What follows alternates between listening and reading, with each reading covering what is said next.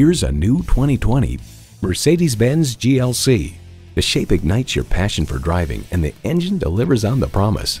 And it comes with all the amenities you need.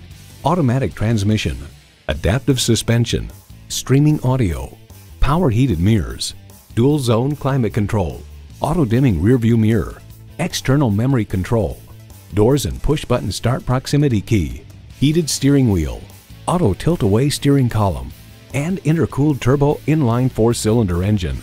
High style, high performance, Mercedes Benz.